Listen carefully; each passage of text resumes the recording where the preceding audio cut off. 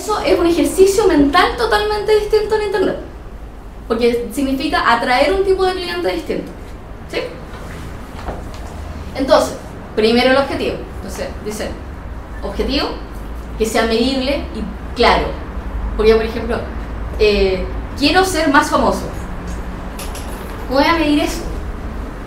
No, dígame, quiero ser conocido en tal segmento por tal cosa. Entonces yo al final del proceso voy a poder decir, ah, para eso era. Por ejemplo, de que tiene transporte podría ser, quiero ser más conocido dentro de las agencias que traen eh, brasileños en la quinta región. Y quiero hacer más convenios. Tran, medible, poco abstracto, claro. Si se lo pasara a otra persona, esa persona quizás podría pensar cómo ejecutarlo. Eso es un objetivo. Ya. Entonces, una vez que determinamos, por ejemplo, voy a hacer eh, convenios. Mi objetivo de este año es aumentar la cantidad de convenios que tengo con agencias. ¿Por qué? Porque decidí que así es mucho más fácil traer nuevos negocios, para mí es mucho más cómodo, no tengo fuerza de venta para ir tocando puerta a puerta y ir persiguiendo brasileños por la calle. Entonces voy a determinar que ese es mi camino. Ahora tienen que decir qué herramientas pueden utilizar. Y el problema con Internet es que tienen mil herramientas. Tienen tantas herramientas que en realidad se pueden marear y pueden hacer un cosas. El problema es que son pymes. Entonces ustedes son el junior, la secretaria, el recepcionista, el contador y todas esas cosas.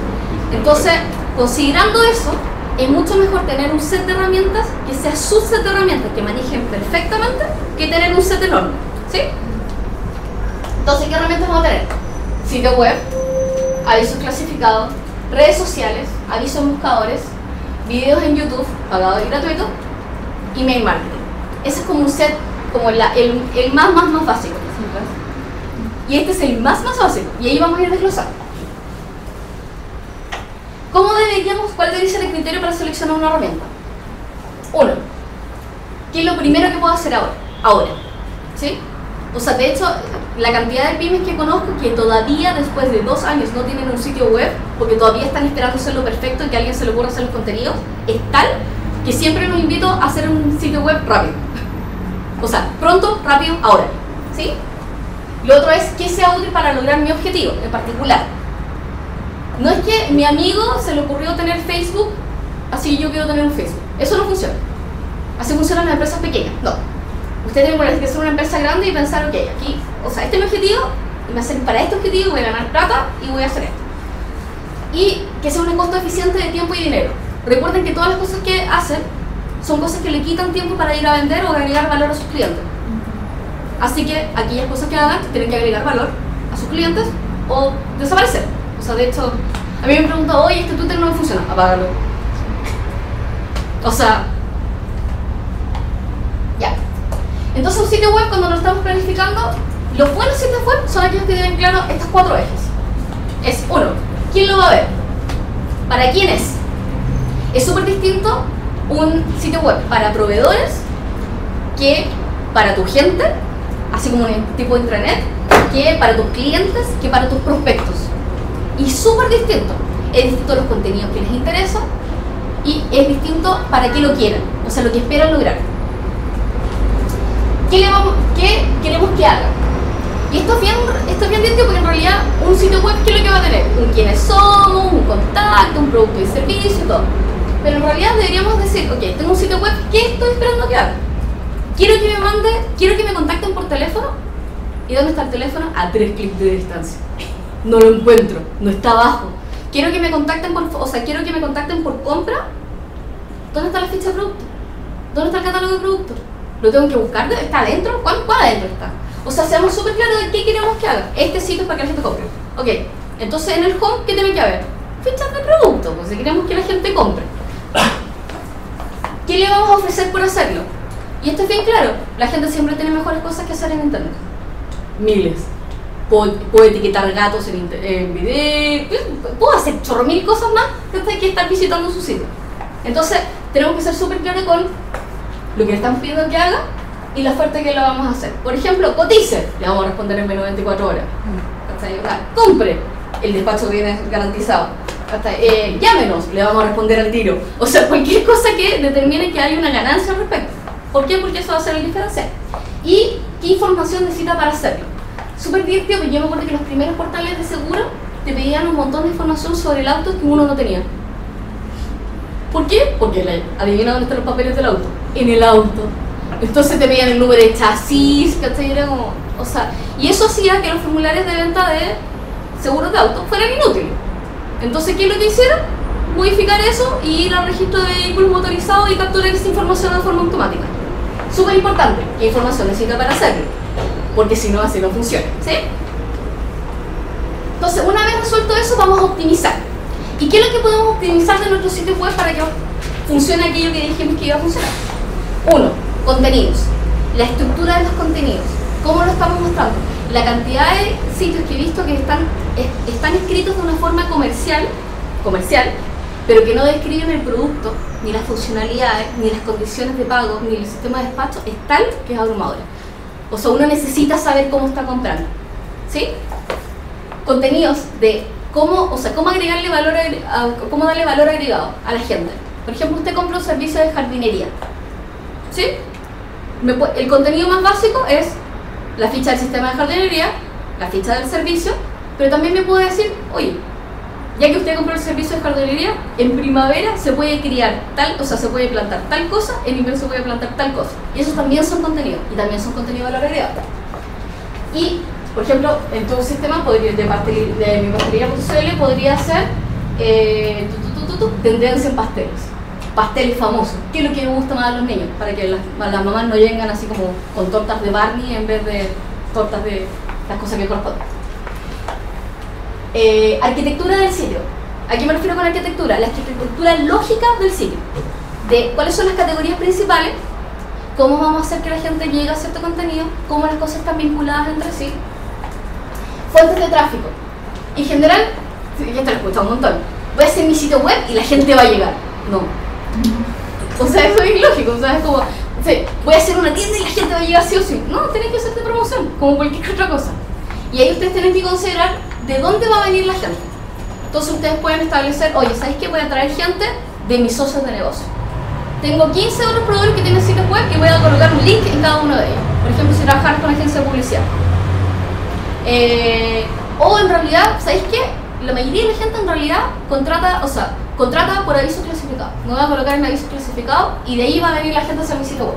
Cualquier cosa que tenga sentido y que lleve gente, que es lo más complicado de eso. Y los flujos de acción que es qué queremos que haga el usuario en, el sitio, en qué orden queremos que lo haga. ¿Sí? Entonces la gente va a entrar al home, va a entrar al catálogo de productos, el catálogo de productos va a haber una ficha, de esa, de esa ficha va a poder llegar un formulario y el formulario va a poder comprar. ¿Sí? Ese flujo de acción es importante que ustedes lo tengan claro, porque después, si descubren en las estadísticas de su sitio que en realidad la gente se cae en el catálogo de productos, el catálogo de productos lo tienen que mejorar o lo tienen que eliminar y poner un buscador, por ejemplo.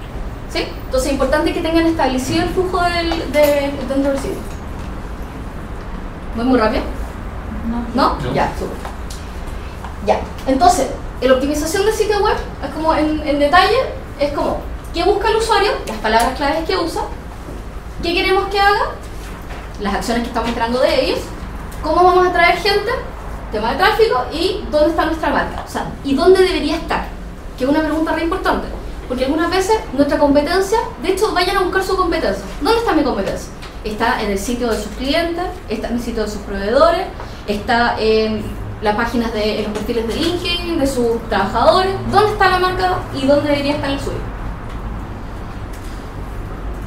Y pasamos directo que una forma de optimizar bien un sitio web es optimizarlo para SEO. ¿Sí? La optimización SEO. SEO es Search Engine Optimization, que es básicamente optimización para buscadores. el buscador Google, específicamente, utiliza algo que se llama PageRank. El PageRank es básicamente un algoritmo que determina qué sitio debería estar en el primer resultado, acá, debajo de los anuncios, y las imágenes, qué, qué, qué sitio debería estar acá. Y lo determina por distintos factores. Lo determina por lo determina uno, presencia de palabras de búsqueda. ¿Sí? Entonces digo, pasteles. La gente busca por pasteles. ¿Tiene usted pasteles en su página? da. Páginas del sitio. ¿Tiene una página que tenga la palabra pastel? Porque hay veces tengo clientes que dicen, uy, tengo clientes que dicen, oye, quiero posicionar eh, ruedas. Me encantaría posicionarme ruedas. Sí, pero usted no tiene una página de ruedas. Tiene un sitio, así como tiene un sitio que se llama Michelin, ¿cachai? Tiene repuestos, pero no tiene una página de ruedas, así que no puede posicionar la página de ruedas. El SEO funciona de que usted tiene la palabra clave y tiene una página donde está esa palabra clave. Y así funciona bien, porque si no, no se puede. ¿Sí? Google no es tan inteligente. Contenido de calidad. ¿Qué significa? Contenido 1. Más de 100 palabras. ¿Sí? Google con menos de 100 palabras no puede posicionar, es muy muy difícil. Lo puede hacer, pero es como que se equivoca. Más de 100 palabras en, En el texto. en el texto. En, un En el texto de la, de- sí, en el texto de la página. Sí. De hecho, eso es una regla que se cumple en Home y es una regla que se cumple en, que se cumple en la página anterior. Contenido de calidad, contenido único. O sea, contenido no copiado replicado de forma igual hacia otro sitio. Ahora, ustedes dirán, ah, ya, tomo un texto y lo modifico un poquito. Google es más inteligente que eso, no para mí. Más de 100 Haga- hagan contenido único, ¿sí? Contenido de calidad también significa que sea entendible. O sea, por ejemplo, si ustedes, o sea, me dicen, ah, la profe dijo palabras, eh, palabras clave, voy a llenar de palabras clave. Ya, eso no es contenido de calidad.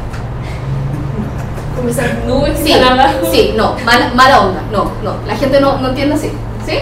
Ya, vínculos internos. Vínculos internos, ¿qué significa? Por ejemplo, yo tengo, eh, tengo una página de seguros, ¿sí? Y tengo la página individual de cada uno de los seguros, seguro de vida, seguro de auto y todo. Y después digo, oye, pero en realidad el seguro de vida está re, súper relacionado con APD, por ejemplo. Así que los voy a vincular. Y esos vínculos, dentro de la página, por ejemplo, en mi página de, seguro, de seguros de vida, le doy un vínculo de APD, eso también vale como SEO. Le da poder SEO. ¿Por qué? Porque SEO básicamente es Google tomando nota de, ya, oye, ¿quién tiene ruedas? Entonces un montón de sitios dicen, nosotros tenemos ruedas. Y después dice, ya, ¿y por qué te voy a creer a ti? Así que le preguntan, oye, otros sitios, ¿estos tienen ruedas? Y después otros van a levantar la mano y dicen, sí, ellos tienen ruedas. Entonces esos vínculos, cada uno de los vínculos que te dan a tu sitio, remarca si es que esa palabra clave que tienes tú efectivamente es de verdad. Entonces yo digo, tengo un sitio que tiene ruedas, una página que tiene ruedas, 20 sitios dicen, oye, ellos tienen ruedas, y dentro de mi sitio tengo un montón de links que dicen, oye, esa página tiene ruedas. ¿Podrías explicar un poquito más eh, gráficamente? ¿Te refieres que tú pones la palabra rueda y un link a esa otra página? Exactamente. O sea, de hecho, Google, a ver, lo voy a explicar, en la, en la respuesta se lo voy a explicar con más detalle. Eh, pero básicamente tiene una página, si tiene una página que tenga contenido que esté relacionado entre sí, pongan los vínculos. Porque eso también sirve para SEO. Cuando no está vinculado, en realidad Google dice, ah, ya, pues será contenido que no tiene nada que ver. O sea, no está vinculado, así que... Y calidad de navegación. Google en los últimos algoritmos con Hummingbird empezó a medir la calidad de la navegación. ¿Qué es lo que significa? Google sabe cuando una persona busca en internet, va a un sitio y regresa inmediatamente. Lo sabe. Sabe que está pasando eso. Ergo, sabe que esa navegación no fue satisfactoria. Ergo, dice, lo voy a bajar. De hecho, calidad de navegación, calidad de navegación móvil. Google con Hummingbird también incorporó de que si tu sitio no se ve bien en móviles, se carga lento, también pierde SEO. Así que el sitio tiene que funcionar de forma correcta. Se tiene que cargar, ¿sí? Porque si no, re mal. Y vínculos externos, que básicamente son todos los vínculos que uno recibe de páginas que no son de las tuyas. Entonces ahí tú dirás, oye, ja, pero puedo tener 25 sitios y vincularlo a mi sitio. No. Y les voy a explicar por qué no. Porque Google lo determina así. Dice, tu sitio está en cierto rango de IP, ¿sí? Que me indica que está en cierta casa de hosting. Los otros sitios que estén en ese rango de IP no te pueden dar votos porque son amigos tuyos. Es súper poco objetivo. Así que esos links valen menos. Así que no traten de hacer eso de las redes. los top 10 de las páginas web. Y eso, esto hice una entrevista con todos mis amigos que trabajamos en diseño digital. Uno, debe estar instalado un CMS. ¿Qué es un CMS? Es Content Management System. Es un manejador de contenidos. ¿Sí? Ya. Por ejemplo, WordPress. ¿Por qué digo que tiene que ser autoadministrable? Porque no hay nada más terrible que tener que estarle pidiendo a un diseñador que te arregle un detalle del sitio siendo que ustedes necesitan que se arregle ahora. ¿Sí? Así que un CMS es un must. Puede ser WordPress, puede ser Drupal, puede ser. No, Drupal. Ya. Eh, puede ser WordPress, puede ser Joomla, puede ser Wix, o sea, puede ser cualquier plataforma que ustedes pueden crear su sitio. De hecho, hay muchos. Dos, debe ser visible en buscadores. Ergo, no flat. Cero flat. Borren la intro. De hecho, ya que estamos en eso, borren la música también. ¿Sí? Porfa. Sí, porfa. Sí, no flat. Lo otro es que todos los textos, o sea, Google solamente lee texto, no lee imágenes y no lee videos. Ergo, todo aquello que ustedes quieran que Google lea tiene que estar en versión texto, así escrito. Y sé que suena súper fome porque es como, oh, hicimos este video, todo lo que usted-", pero el video no, va, no los va a posicionar. Así que sí, ¿Y por qué igual cuando uno aparece, o sea, en ciertas búsquedas sí te sugiere imágenes? Ahí Ah. fue. se los voy a explicar al final. Pero el tema de las imágenes es porque Google determina de que hay ciertas palabras claves que en realidad los resultados no tienen que ser resultados de texto ni sitios web, sino tienen que ser imágenes. O se lo hace con semántico. Dice Ferrari. Yo creo que la gente no quiere leer una ficha técnica de Ferrari, debe ser una imagen. Entonces va adivinando. Eh, debe con- lo otro es que debe contener las palabras claves que usaría el cliente para encontrar el producto dentro del contenido. Es súper importante que use las palabras claves del cliente. ¿Cuántas veces le ha pasado que entran a, por ejemplo, soyman.cl, van por sillas de jardín y se mueran media hora? Porque ellos no consideran que la silla de jardín se llame silla de jardín y le ponen juegos de terraza. ¿Sí? Y eso pasa un montón. El problema es que, evidentemente, el gerente de producto dice, no, pues lo tenemos que colocar como nosotros lo colocamos. No, pues, lo tienen que colocar como los usuarios lo buscan, porque si no, todo se al carajo. Cuarto, debe contener la información para poder comprar. ¿Sí? El precio, la ubicación, el despacho. Las pymes generales siempre me dicen, no, pero como voy a colocar el precio, me lo van a copiar. Señores, si le quieren copiar el precio, se lo van a copiar igual. O sea, de hecho, no hagan perder tiempo a la gente que tiene que estar cotizando, porque más encima no lo responden, más encima ustedes tienen que hacer la- el trabajo de responder eh, cotizaciones que en realidad solamente son de precio. No pierdan tiempo. 5. Debe tener medios de contacto. La cantidad de sitios que no tienen teléfono, mail, o sea, y que en realidad el formulario de contacto te pone medio nervioso porque está como medio feo. ¿Sí? ¿Mm? Y responderlo, por favor. Sí, sí todo hecho es un tema. Ah, ah. Ya. Debe navegarse, debe verse móviles. Con la cantidad de móviles nuevos que hay, en realidad es totalmente insólito no tener versiones móviles. O sea, como. De hecho, puede. De hecho, la mayoría de los sitios actualmente tienen, vienen con templates y plantillas que ya son móviles. Así que, de hecho, si que están renovando su sitio, compren inmediatamente una plantilla que venga con versión móvil. Y se olvidan. ¿Sí? Ya. Debe navegarse de forma lógica. O sea, las categorías tienen que llamarse como deberían, las cosas conectadas tienen que estar conectadas. Idealmente nada importante debería estar a más de tres clics de navegación. ¿Sí? Si tiene muchos contenidos, debe tener un buscador que funcione. O sea, si tiene, no sé, 150 productos, tengan un buscador, por favor. Porque, cliente- o sea, de hecho, la cantidad de veces que he tenido que estar buscando página, página 1, página 2, página 3, página 4 es demasiado terrible, es demasiado espantoso. Si cualquier cosa que tenga más de 50, buscador.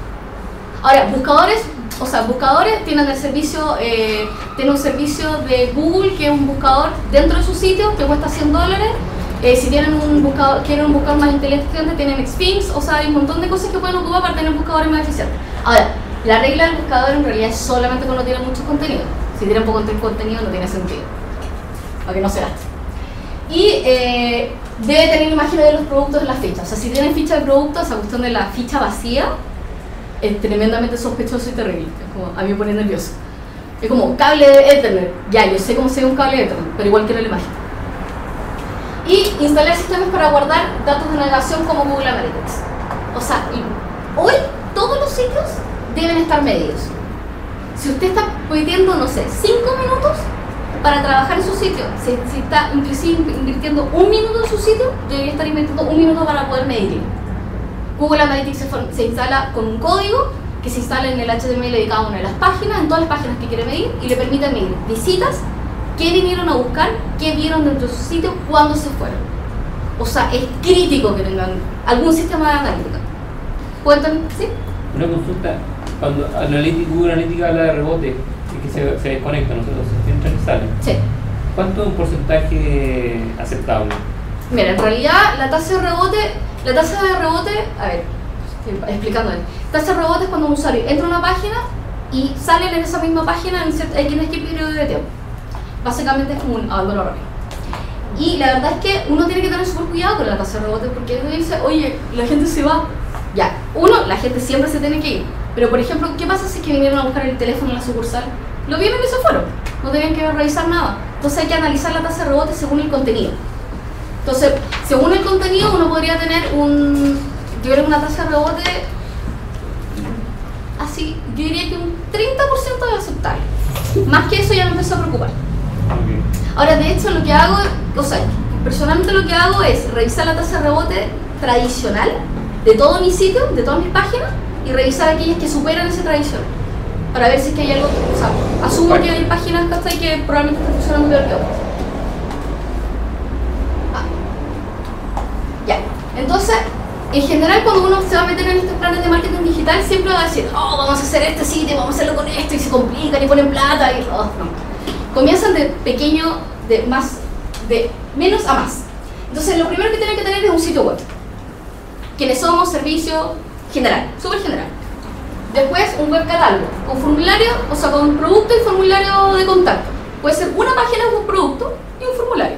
Por ejemplo, te doy asesoría para los mejores seguros formulario de contacto. Y nada más, no describo nada más. Después, una, web de compra directa, donde tengo el producto y tengo un carrito de compra. Entonces puede ir sumando y por último me puede mandar la cotización. Y después el último, evidentemente, es online. Este debería ser más o menos la evolución. ¿Por qué digo que debería ser así la evolución? Porque el tiempo que toma una pyme normal para hacer uno de estos sitios puede ser hasta como, yo he visto hasta seis meses. Y en realidad es súper dramático. O sea, y no tener un sitio es imperdonable. O sea, eres una empresa, por ejemplo, una empresa de servicio, una consultoría, y no tenés un sitio, ¿y cómo se cierra de verdad? No tengo, no tengo idea. O sea, si tengo un problema y no tengo tu información y se me perdió tu mail, ¿qué hago? Y genera un montón de incertidumbre. Y de hecho, una de las cosas más complejas de marketing digital es justamente bajar la incertidumbre. Bajar la incertidumbre de la gente que no conoce la tecnología, bajar la incertidumbre de la gente que nunca ha comprado en internet. Tienen que bajar incertidumbres. Por ejemplo, tu sitio debería tener tu foto. Confianza, ¿sí? Links para construir sitio. Hay múltiples servicios para poder construir sitios. Por ejemplo, www.boutique.net, que son, de hecho, son los conocidos míos que hacen sitios que puedes alojarlos dentro de su sistema o puedes alojarlos fuera del sistema. Funcionan bastante bien y vienen con WebPay integrado. Así que ahí uno no se tiene que desgastar. Headwaythemes.com es súper entretenido, por ejemplo, porque les permite tomar un WordPress, que es este sistema para poder eh, generar sitios web, y les permite dibujar cajitas. Así como, igual dibujarlas y ponerle nombres, y eso es su sitio web. Es un diseño súper visual y en realidad para las personas que no estamos experimentadas para generar plantilla es súper bueno. Eh, tenemos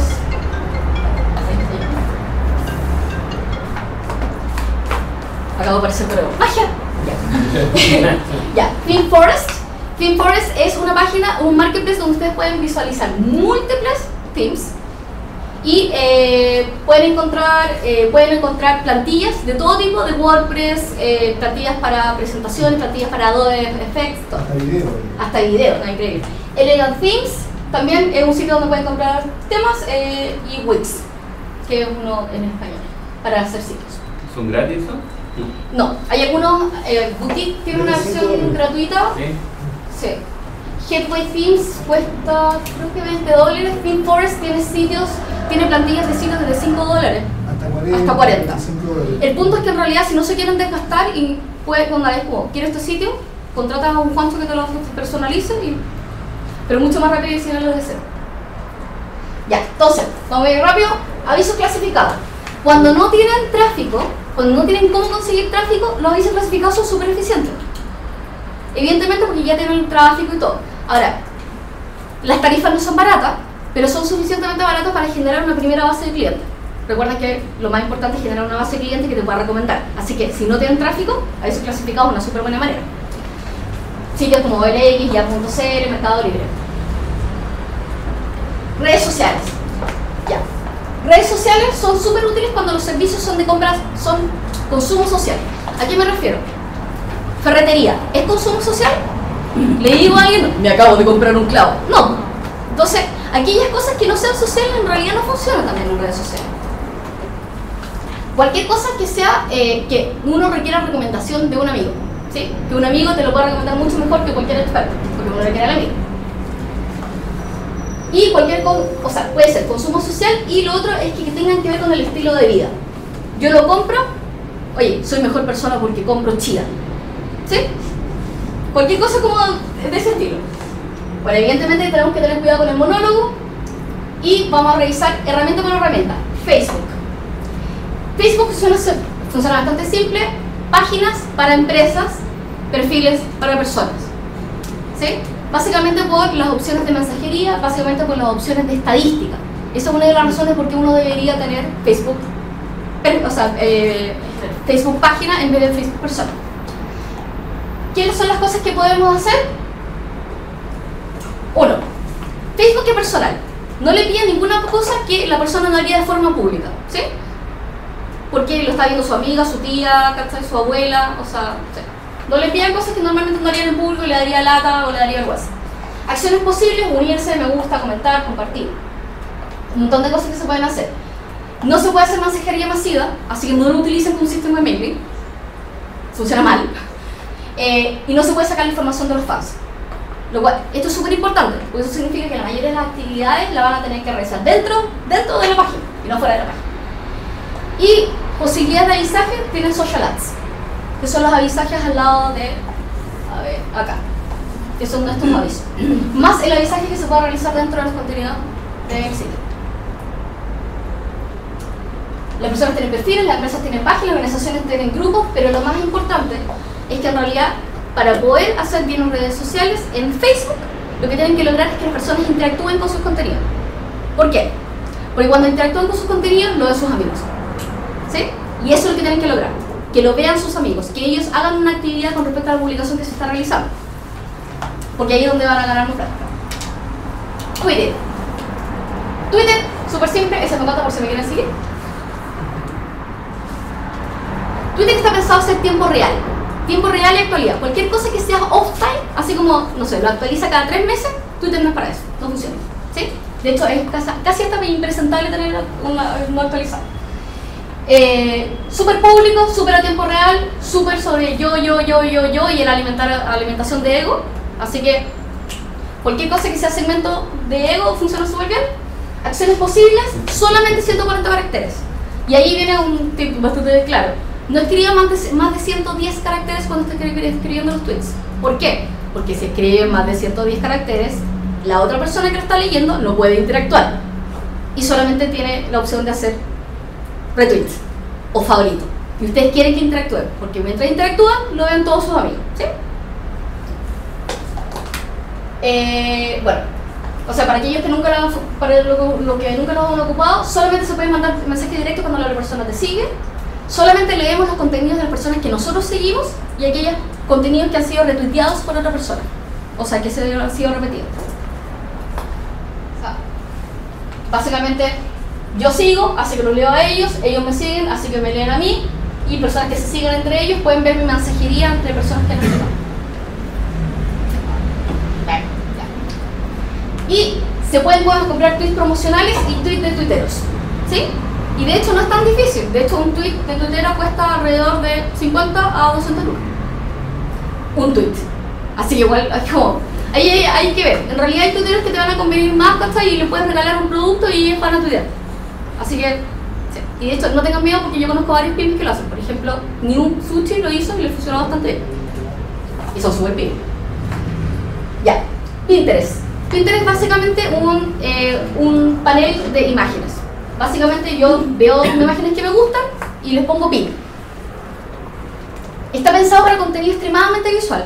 Si tienen cualquier, si cualquiera de ustedes trabaja en categorías que es totalmente visual, así como por ejemplo cortina, diseño, moda, cualquier categoría que sea extremadamente visual les sirve para esto. Acciones posibles, le hago pin, se sube a mi muro, lo puedo compartir con otras personas. ¿Para qué sirve? Para establecer un criterio visual de mi empresa. Mi empresa, jardinería, todos los jardines del 2014. ¿sí? En vez de visualizarlo en un sitio, lo puedo visualizar en Pinterest y funciona mucho mejor. Para publicar fotos también está bueno. También puedes publicar fotos y pillar tus propias fotos. Sí. Hacemos eventos y de repente Sí. hay, hay fotos. ¿no? Ahí uno tiene que ver exactamente, porque por ejemplo Pinterest es mucho menos de eh, captura de fotos, o sea, es como más un portafolio visual más que una galería. Ok. Sí. Y por ser galería, vamos al siguiente. Instagram. Instagram, Genial. perfecto. A tiempo real, súper bien, con eventos tallados, increíble. Gente te puede seguir, tú puedes seguir a otra gente, pero sobre todo funciona muy bien para todo lo que es redes sociales agregadas. Con Facebook, con Twitter. ¿Sí? ¿Qué cosas se pueden hacer? Te pueden seguir y tú puedes seguir. Pero en realidad la magia de Instagram son los filtros. La gente le gustan las cosas bonitas. Ahora, ¿qué cosas se, en general van a ver en Instagram? Muchos vasos de Starbucks. Comida y cerveza, moda, pero sobre todo muchos vasos de Starbucks. Ergo, ah, pero eso le indica un montón de cosas, que tiene que ver con que es un estilo de vida que la gente quiere representar y quiere transmitir a otras personas. Así que no pueden sacar fotos de cosas feas en Instagram, es mala gente. Ya, entonces, LinkedIn. LinkedIn es básicamente un perfil, o sea, es una plataforma de perfiles profesionales y perfiles de empresa. Básicamente, acciones posibles, puedo conectar con otros, puedo conectar con otros que no conozco, eh, puedo mandar una invitación, puedo eh, solicitar recomendaciones. Funciona muy bien para todos los que son negocios B2B, business to business, ¿sí? Ahora, ¿cómo, ¿por qué funciona bien? Porque uno lo tiene actualizado. O sea, si tiene el, el currículum vitae de hace tres años, no funciona. O sea, eh, se, puede, se pueden publicar anuncios, empleos y se puede suscribir.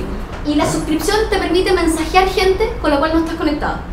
Tengo un amigo que funcionó, o sea, que contrató el premium y pudo contactar a un montón de gerentes que no conocía así. Y funcionó súper bien. O sea, de hecho es una buena manera de conseguir clientes. Ahora, evidentemente cualquier contacto en frío funciona mucho peor que un contacto caliente, o sea, que un contacto de referido. Ya, entonces, cuando estemos realizando nuestro plan de redes sociales, ahora que tenemos más o menos claro el, el- el espectro de Facebook, Twitter, Instagram, Pinterest y LinkedIn, nuevamente, ¿cuál es nuestro objetivo? ¿Qué queremos lograr? ¿Qué impacto tiene para nuestro negocio? Ok, lo voy a hacer y qué va a pasar después. Y de hecho, quiero que lo calculen, no es como, uy, vamos a hacer una campaña en, en Pinterest. No, voy a subir una imagen en Pinterest y qué espero que pase después. ¿Sí? ¿A quién le vamos a hablar? Y esto es súper importante. ¿Le vamos a hablar a nuestros clientes? ¿Están nuestros clientes ahí? ¿Qué queremos que hagan? Nuevamente, queremos que nos retuiteen, queremos que hagan reply, queremos que nos comenten, queremos que nos compartan con sus amigos. ¿Qué es lo que queremos que pase? ¿Por qué? pa- ¿Por qué? Porque en las redes sociales, aunque sea una red social, en realidad ustedes establecen las reglas. Ustedes dicen lo que pasa en una red social. Y en general la gente obedece. Entonces, por ejemplo, si se dan cuenta, arroba en tel, por ejemplo, no funciona igual que arroba teleayuda. ¿Por qué? Porque arroba teleayuda dice, nosotros te ayudamos. Arroba en tel es del tel. ¿Sí? Entonces usted establece la regla y la gente obedece esa regla. En general, cuando uno la sostiene en el tiempo. ¿Son todos acostumbrados? Ya. Cuando se se acostumbran el tiempo, porque evidentemente pasan cosas que no deberían pasar. Entonces, tipo de perfiles en redes sociales, cosas que ustedes podrían hacer en redes sociales, ofertas y promociones. ¿Sí? Un sitio- una, una red social que solamente habla de ofertas y promociones funciona bastante bien. Dicen la oferta, le ponen un tiempo, bacán. Le dan una razón a la persona de seguirlo. Contenido relacionado, por ejemplo, contenido de tu industria. Por ejemplo, podría ser tasa de accidentes en niños, tasa de incendios, por ejemplo, en el rubro de, de seguro. Noticias corporativas. Acabamos de llevar, o sea, nos acabamos de hacer un convenio con X empresa. Eso solamente cuando eso genere más negocios, porque hay noticias corporativas que no le importan a nadie. ¿Sí? Eso le pasa. Bolsa de trabajo. También. Los de Santander, los de Santander ahora están publicando su, todas sus ofertas de trabajo a través de su red social. Atención al cliente, como en Televideo. Eh, contenido de comunidad de marca. Por ejemplo, las comunidades de. todas las comunidades de Teletón. Donde no estamos hablando de nada en particular, no está pasando nada en particular, pero estamos todos juntos y somos todos amigos. ¿Sí? Estas son más o menos las cuentas que pueden tener. Y básicamente quiero que consideren esto. Cada una de las redes sociales involucra generación de contenido, manejo de interacción y resolución de quejas. Les va a llegar esto. Esto es parte de la pega. Y tienen que considerarlo. Y ahí yo le digo, generación de contenido. Robe del 60% del contenido. Sáquenlo de otros lados. Y 40% genéralo ustedes. Tengan interacción hasta el 40%, porque después de eso se vuelve una lata. En realidad no. Manejo de interacción. Tengan claro más o menos qué cuáles son las interacciones. Hagan mínimo rol de marca. ¿Qué pasa si me retan? ¿Qué pasa si me llega una queja? No sean como el señor de Pizza Pizza. Que se enoja. no sé, bueno. Sí. Eh, resolución de quejas. Tengan súper claro qué tipo de quejas y cómo los van a procesar y cómo debería proceder la persona que está a cargo. Porque en general, si tienen, por ejemplo, un community manager, ese community manager no va a saber exactamente cómo tiene que resolverlo hasta que usted se lo diga. Y si son ustedes, asumen que en realidad, oye, mucho, o sea, es como, ni siquiera se enojan por la es como, muchas gracias por quejarse. Y vean cómo pueden resolver. Links útiles, Social Bro, para poder visualizar toda la estadística de Twitter y todos tus seguidores. Follower Walk, para ver la estadística de, de dónde vienen tus seguidores, cuántos años tienen y toda esa información. O sea, cuándo te siguen, cuándo publican ellos, cuándo tienes que publicar tú. Janitor, que es un cliente de Twitter. Uno puede administrar las redes sociales a través de directamente en la web, directamente en las aplicaciones o a través de clientes de Twitter. La gracia es que los clientes de Twitter te permiten programar información y saber más información y responderlas en un panel particular. Y después le pueden preguntar a nuestro CM acá. más información. Facebook Insights es básicamente el sistema de estadísticas de Facebook que te permite visualizar cuánta gente visualizó un contenido, cuánta gente interactuó con cada uno de ellos y visualizar cómo mejorarlo. Bueno, aviso de buscadores. Básicamente el aviso de buscadores es todo el mundo me dice, quiero SEO. Y están hablando de Google AdWords. Así que acá ven la diferencia. Google AdWords es todos los avisos que van acá y que dice Ad Related. Y todo, SEO es todo aquello de resultados orgánicos que van acá. El tope de avisos que pueden haber son 3 avisos acá y 7 avisos acá, haciendo un total de 10.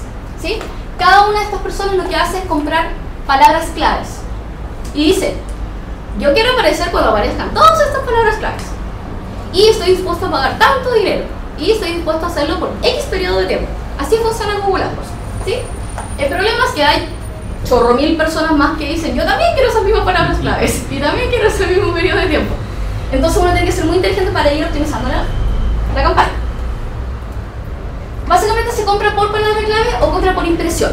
Entonces yo puedo decir, oye, quiero estas palabras claves por X periodo de tiempo, esto es lo máximo que estoy dispuesto a pagar, y quiero aparecer en estos sitios, y quiero aparecer esta cantidad de veces.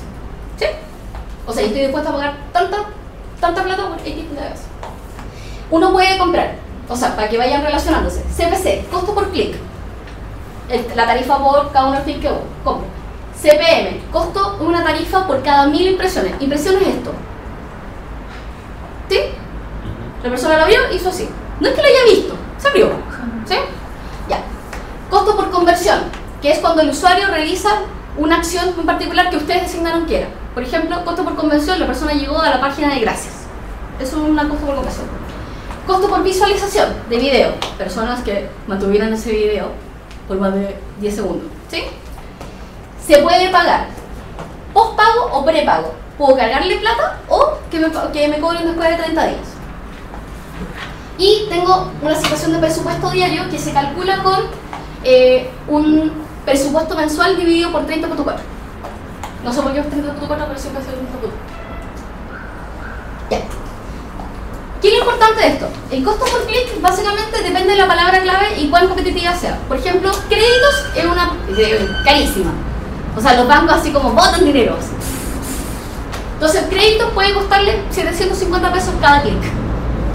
Pero después tienen palabras claves que cuestan 50 pesos el clic. El promedio en general son 220 en Chile. Un costo por clic en Google AdWords cuesta más o menos 220. ¿Sí? Ya. El costo del clic depende de la ubicación del banner y cuán atractivo sea. O sea, básicamente hay sitios que son mucho más hot que otros, así que voy a pagar más por él. El costo del clic depende de la performance historia de la, de la campaña. Y esto es súper importante que lo entiendas porque significa que todos los avisos que funcionen más o menos en Google AdWords se tienen que parar. ¿Sí? Todas las campañas que sean bien las tienen que parar porque si no, no funciona. Y eh, el costo del clic, bueno, también depende de cuán eficiente sea la página de destino. Y el costo máximo lo elige el comprador. Ustedes determinan cuánto están dispuestos a pagar por cada uno de los clics. Entonces, básicamente las campañas de Google AdWords se tienen que establecer más o menos así. ¿Qué objetivo tiene la campaña? ¿Qué está buscando el usuario? De lo que está buscando el usuario, ¿qué producto es el que tengo que ofrecerle? ¿Lo está buscando en Google? ¿Se lo está buscando en buscador o lo está buscando en los sitios? Porque ahí va a determinar si voy a comprar banners o voy a comprar palabras claves que para comprar en el buscador. Eh, ¿Y a qué página del sitio lo vamos a llevar? Es súper importante. Palabra clave. ¿Qué le voy a ofrecer para esa palabra clave? ¿Y a qué página lo voy a llevar en el sitio? Y esa es la razón de por qué es súper importante que la arquitectura de su sitio esté bien hecha. Porque si no, no voy a tener una página a la cual llevarle. Y voy a tener que hacer una, una campaña de Google AdWords hacia el home, que es la muerte. No lo tienen que hacer. No lo hagan al home, porque pierden ese clic. Básicamente porque lo manda al home y la persona no sabe qué hacer. Lo tienes que mandar a la página más específica posible porque si no, no va a funcionar. A nivel de estructura, las campañas están establecidas, una campaña establecida por un sector geográfico. Cada campaña tiene un grupo de anuncios, que son distintos grupos de anuncios. Cada grupo de anuncios tiene un set de grupo de palabras claves y cada grupo de palabras claves con este grupo de anuncios tiene una página web a la cual está dirigida. Básicamente está estructurado así, jerárquico. ¿Cachai? Como un coro.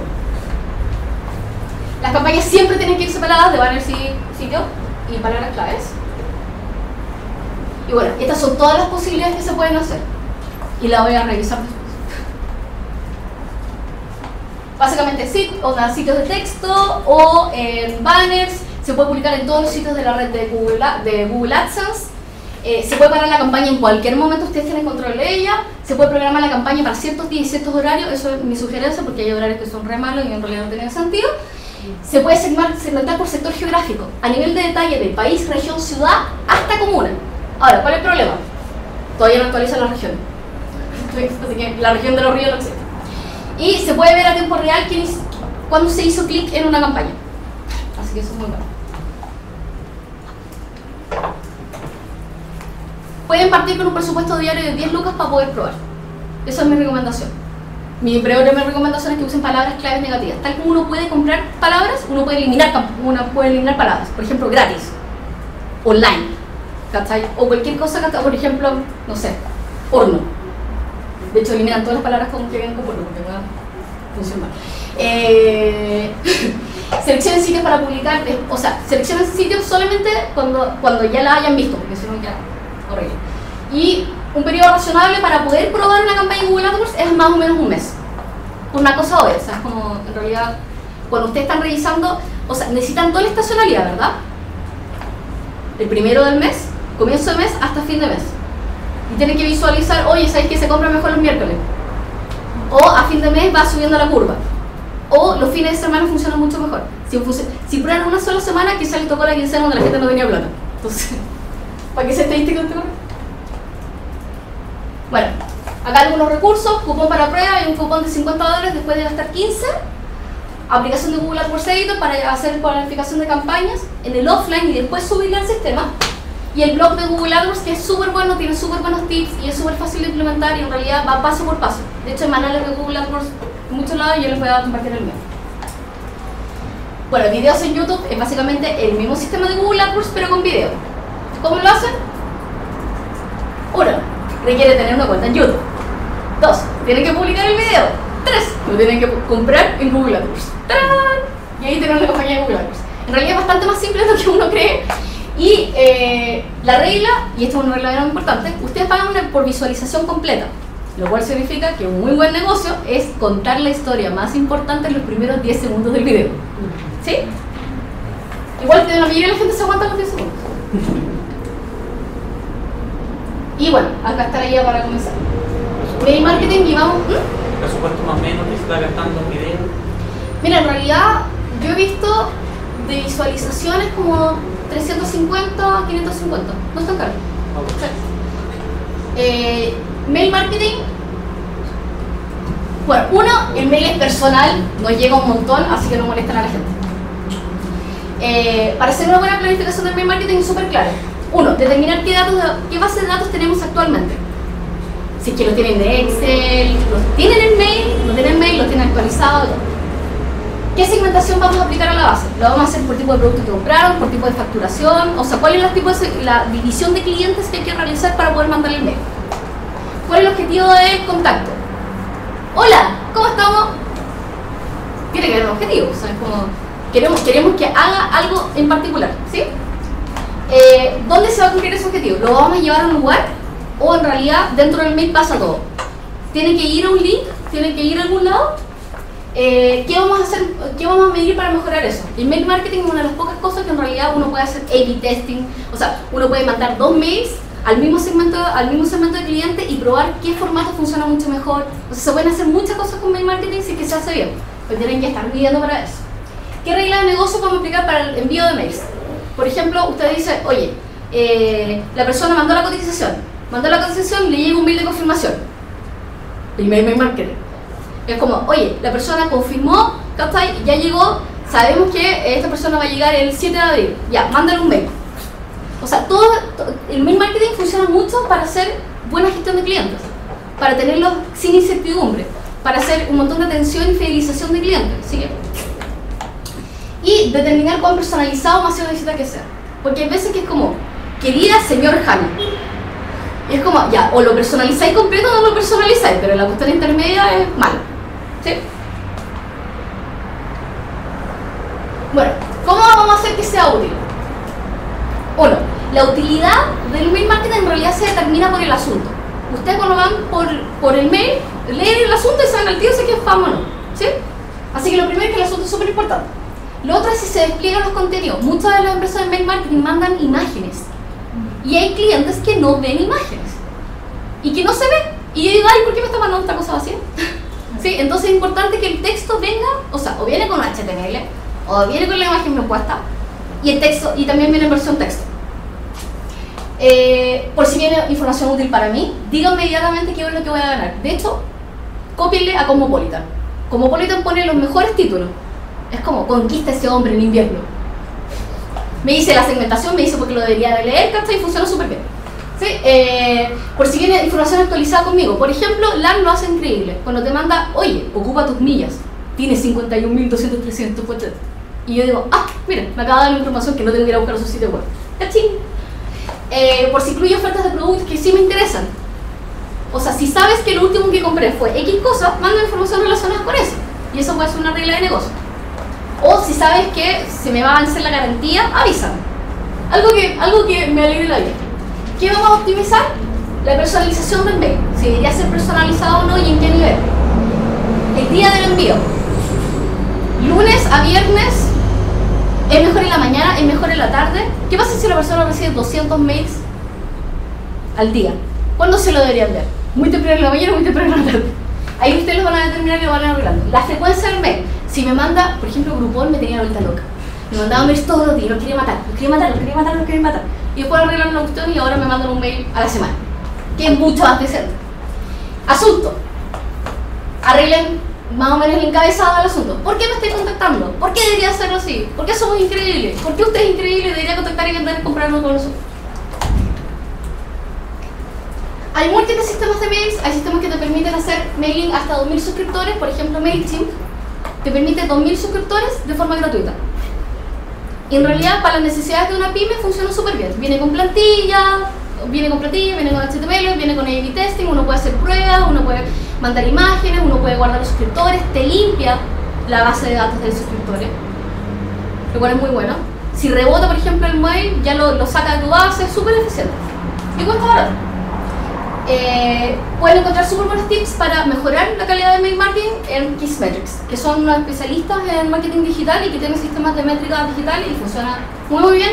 Su blog es muy muy bueno, así que ahí van a poder encontrar tips para ir mejorando. Bueno, al final sí se dan cuenta, después de que los bombardeé con información, en realidad el marketing digital es súper simple. Lo que sí es que hay que tener súper claro cuál es el ciclo de compra no solamente el, digital, sino el completo, para poder determinar qué parte te vas a llevar al digital, qué cosas, qué servicios agregados podrías ir integrando. Cuando ustedes determinan el ciclo de compra del cliente, dicen, ok, Internet puede influir, ¿sabes qué? Le puedo ahorrar un montón de tiempo al cliente si yo le cotizo, si le cotizamos en línea, si le doy los precios al tiro, si le coordino online la hora de consulta. Cualquier, o sea, cualquier parte del ciclo que se pueda realizar online que sea mucho mejor, háganlo online y llévenlo online, pero hagan un plan para que no salten. Eh, ahí van a determinar en qué canales quiere intervenir, qué quiere lograr en cada uno del canal y es súper importante que, aunque tengan un objetivo general, es importante que tengan un objetivo para cada uno de los canales de marketing digital que están implementando. Y es súper importante porque cada una de las plataformas son distintas, tienen reglas distintas, tienen tiempos distintos. Eh, bueno, determinen cuáles son las reglas de negocio que quieren implementar en cada uno de los canales y cómo. Es como, ok, si pasa X en Twitter, hacemos esto. Si pasa esto en Facebook, hacemos esto. ¿Cómo proceder con, por ejemplo, cotizaciones? Y cómo lo voy a medir. Y ahí vamos cerrando. ¿Cómo medir sitios web? Midan sitios web a través de Google Analytics. Instalan el código en todas las páginas, va a ir cargando la información y le va a permitir medir visitas. ¿Qué deberían fijarse? En la calidad de la visita. ¿Qué es la calidad de la visita? ¿Cuánto tiempo? O sea, uno, ¿hace la visita lo que usted quiere que haga? ¿Son las visitas correctas? ¿Estamos trayendo a las personas correctas? ¿Qué pasa si el 70% se va del sitio sin hacer nada? Está mal, algo está pasando. Eh, por ejemplo, ¿cuántos, cuántos, usuarios, ¿cuántos usuarios están abandonando? ¿Cuántos usuarios estamos perdiendo? Si nosotros tenemos calculado que tenemos un ticket promedio de 3.500 y si me van 100 personas, ¿cachai? De las, no sé, 500 que llegan, ¿cuánto estoy perdiendo? ¿Qué letra de plata? Necesitamos empezar a medir para poder determinar eso. Para medir redes sociales, bueno, tienen un montón de herramientas. Está Social Pro, que les permite medir todo lo que, todo lo que es en Twitter. Follower Wonk, que les permite visualizar todo lo que son sus followers, todas las personas que lo siguen en Twitter. Facebook Analytics para medir todo aquello que pasa en su página de Facebook. Eh, existen sistemas como Radiant 6 y Sizomos, que son básicamente plataformas para medir análisis de sentimientos sobre sus marcas. Cuando sus marcas tienen muchas menciones, evidentemente, cuando tienen pocas menciones, utilicen Search, Twitter y listo. No se calienten la cabeza. No necesitan tomar tanto volumen de información. Y también podemos medir todas las actividades en cada una de, esta- cada una de las redes sociales, poniéndole etiquetas eh, a las URL.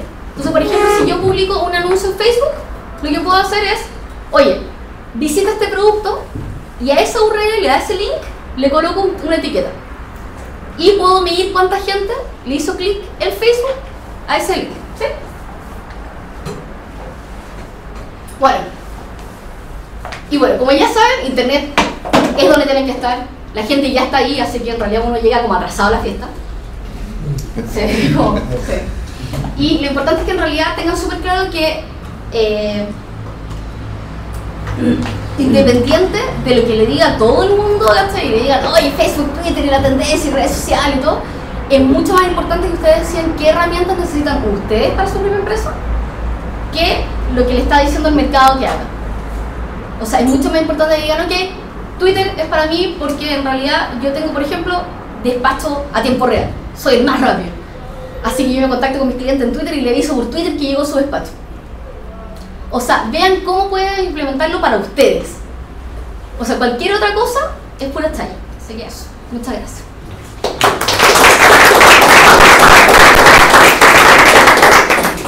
Ya, entonces...